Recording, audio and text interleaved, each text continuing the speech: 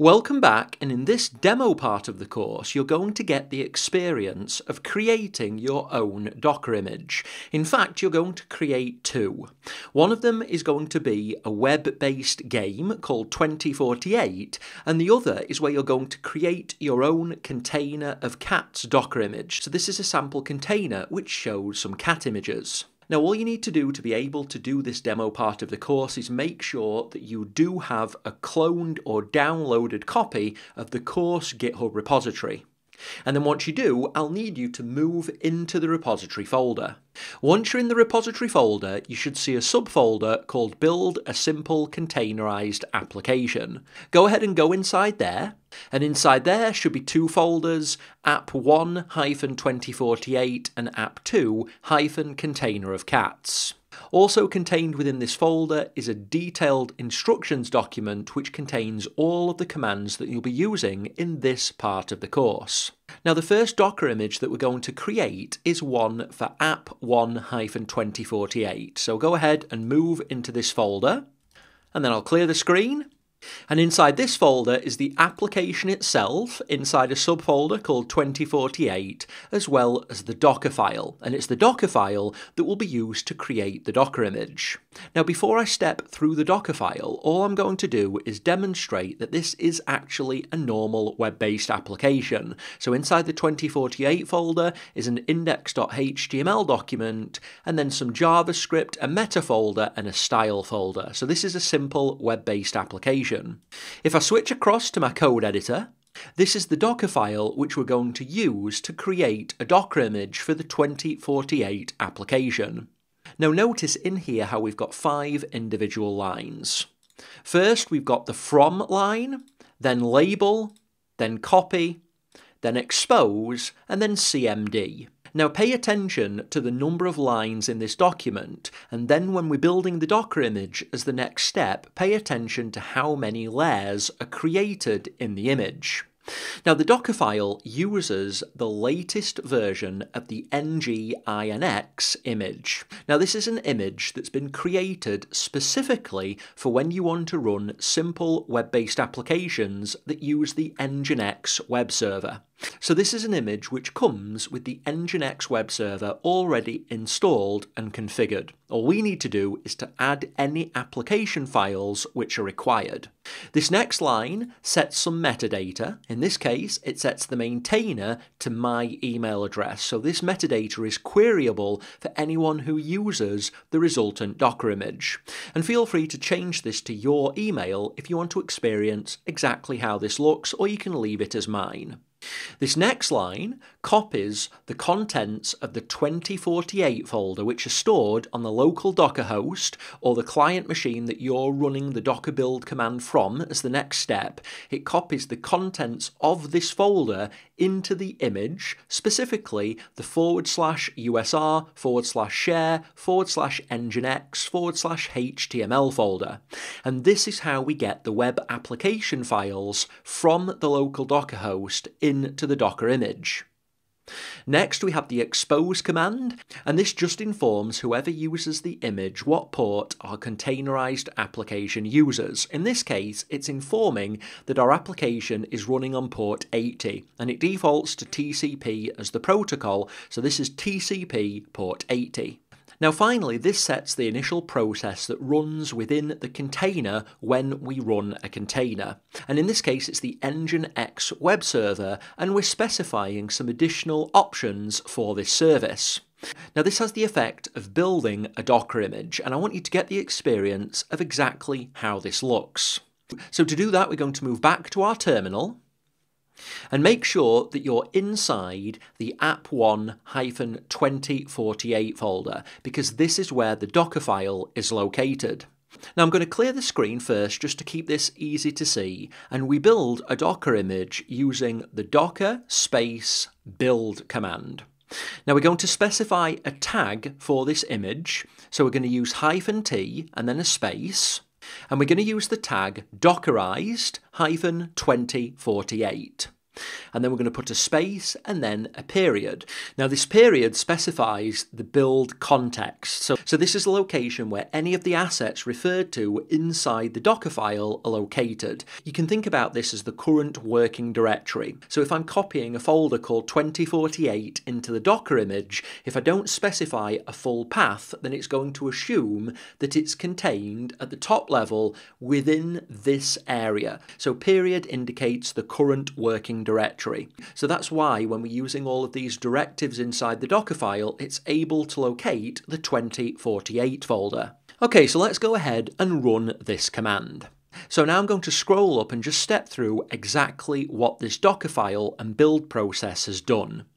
First, it needs to download the nginx colon latest image because we don't have this locally. So because this is specified within the from directive of the Docker file, it's going to go ahead and download this to our local Docker host because this is the base image. So that's what this first set of items refers to. It's going to download any layers of this base image and extract them to our local Docker host. And this is the first layer of the Docker image that we're going to create. Next, we have the copy command that's within our Docker file. And remember, it copies anything within the 2048 folder to this location within the Docker image. And this is going to create another layer to our Docker image. Remember how in the theory lesson where I covered Docker files, I mentioned which directives within a Docker file create new file system layers, and copy is one of those directives. So this has now created the Docker image. So I'm going to clear the screen and we can test that that's been created by running a docker space images. And here we can see we have the dockerized hyphen 2048 image and it's got its own unique image ID. Now to run a container from this image, we need to use the docker run command. Now remember that our containerized application is running a service on port 80. So we need to map this port 80 from the container through to a different port on the Docker host. So we'll need to specify that within the docker run command. So we're going to use a docker space run space hyphen D, and this is going to detach our terminal from the container so we can still interact with our terminal. And then a space hyphen P, and this configures a port mapping. We want it to map onto port 8081 on our Docker host, so our local machine. And we want this to map through to port 80 on the container. So we need to put a space and then specify the Docker image that we want to use and we're going to use the name here, so enter dockerized-2048 and press enter. And that's going to run a container from the Docker image that you just created. If you run a docker space ps, you'll be able to verify that this container is indeed running. You can see when it was created as well as the status, and this informs us that it's been up for 7 seconds. If we just copy down this container ID, we can run a docker space port and then this container ID and just verify that port TCP80 on the container has been mapped through to port 8081 on our Docker host. And that's what we want. So next we can verify that this container is running as we expect. We need to open a web browser and then we need to browse to localhost colon 8081 and this is the 2048 game running within a container. Now this game is simple enough, you just press the up, down, left and right arrows and the idea is to get as high score as possible by combining the blocks. So if I press down, it moves all the blocks down and combines any matching blocks. If I press down again and there are no matching blocks, everything just moves to the bottom. Down again, the same. Now if I press left, it combines those two twos. If I press left again, it combines the two fours. And we do that repeatedly, trying to maximise the amount of points on the screen before we fill up all of these blocks. So this is a simple web-based game or web-based application that we're now running within a container. Now we've finished with that at this point, so we're going to go ahead and run a docker space ps to get the container ID again and then run a docker space stop and then this container ID and then a docker space rm and then the container ID again to delete this container. and then I'll clear the screen. So that's the first custom Docker image that you've created using a Docker file and some assets. At this point, let's move on and do the second application. So we'll go one level up, and this second application is within app2-container of cats, so let's move into that folder. Do a listing, and this time you can see that there's a Docker file in this folder, there's an index.html, as well as some assets. Now don't worry if you don't see this image build.md file when you're doing this demo, this is just a file that I've used during the lesson creation process. If you do see it, that's fine, if you don't, everything's okay. Now let's review this Docker file, and specifically we want to identify how it's different than the previous example, application 1.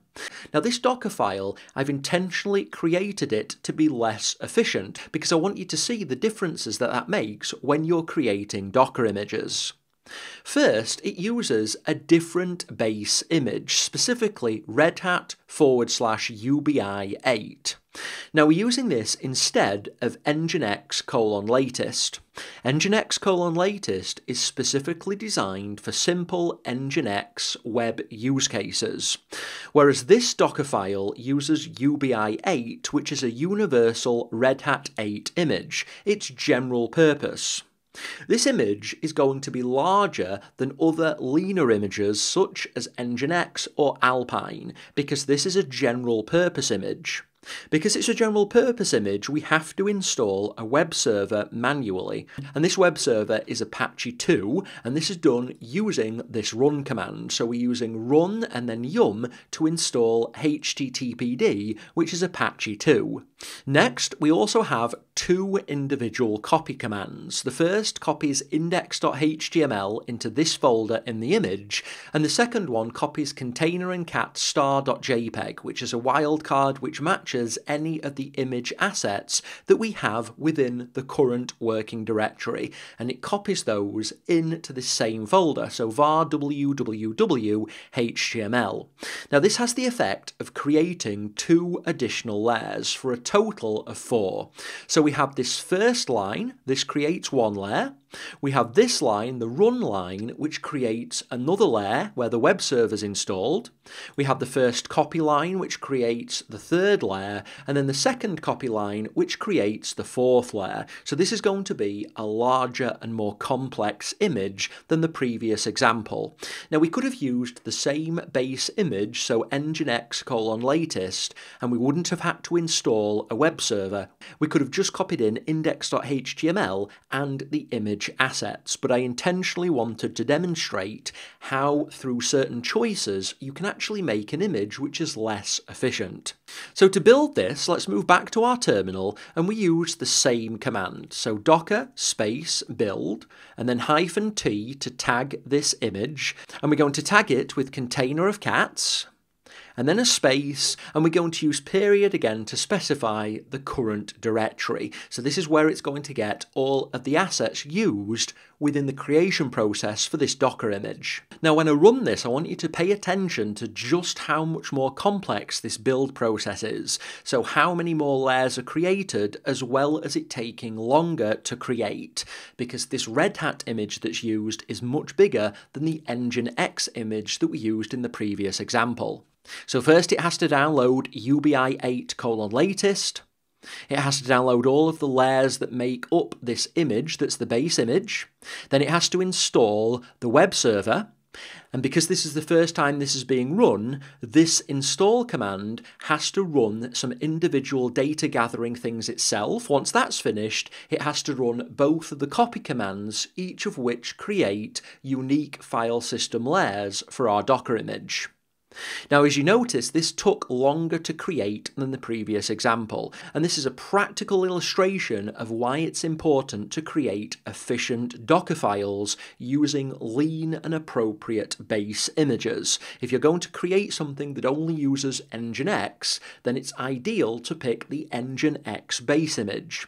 If you've got a specific use case, pick a specific base image. If you're using something more general purpose, then you'll need to use something that's less lean and includes more commands and applications within it that can avoid additional software installations. Now we're going to clear the screen and just run a docker space images to make sure that we've created our container of cats docker image, and we have.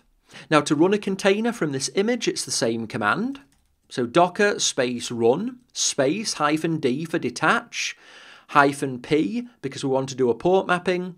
We'll use the same port mapping, so 8081 on the Docker host colon map to port 80 on the container, and then we're going to use the container of cats Docker image. So enter that command and then press enter. And then if we run a docker space ps, we can see that we've got this container of cats container currently created three seconds ago, and it's been running for three seconds, so that's good. Now if we move back to the web browser and test this, if you've still got the tab open to the 2048 application, we're running this new container on the same port, so you can just go ahead and click on refresh. And this should load our container of cats application if it fits isits in a container in a container. Now that's all that we need to do with this container, so move back to the terminal, run a docker space ps, copy down the container ID, run a docker space stop space and then this container ID and then a docker space rm space and then again the container ID. Now that's everything I wanted you to do in this demo component of the course. Just to reiterate, what you've done is use two applications plus two Docker files to create two custom Docker images, one for the 2048 game and the other for the Container of Cats web-based application. Now these have been very simple examples, but this is the same process that you would use to create any other single container application.